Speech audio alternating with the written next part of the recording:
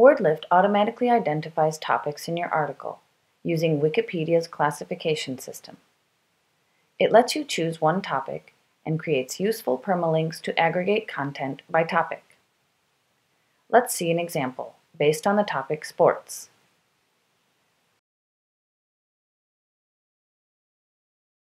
This page lists all articles in our archive with sports as the main topic. A consistent classification system allows you to create new entry points for your content, based not only on topics, but also on people,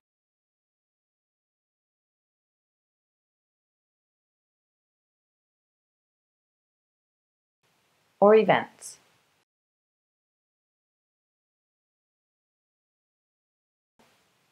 places, and automatically publish it on your website.